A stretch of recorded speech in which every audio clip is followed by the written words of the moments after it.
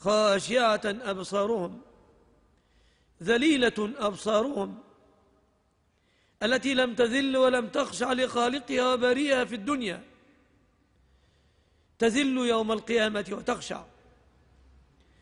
كما قال تعالى أبصارها خاشعة أي ذليلة ومهانة.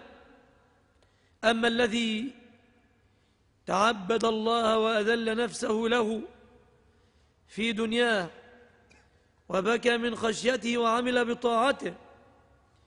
فيكرم يوم الوعيد يكرم يوم القيامة. قال تعالى خاشعة أبصارهم ترهقهم ذلة. تعلو وجوههم ذلة مهانة. وقد كانوا يدعون إلى السجود أي في الدنيا وهم سالمون.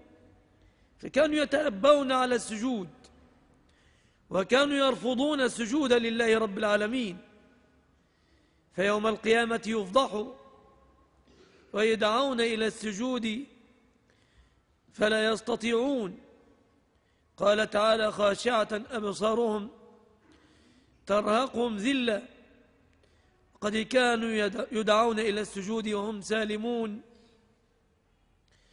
فذرني ومن يكذب بهذا الحديث دعني معه أنا أكفيك إياه. فله من تهديد شديد ووعيد أكيد يتواعد الله به المكذبين بالقرآن.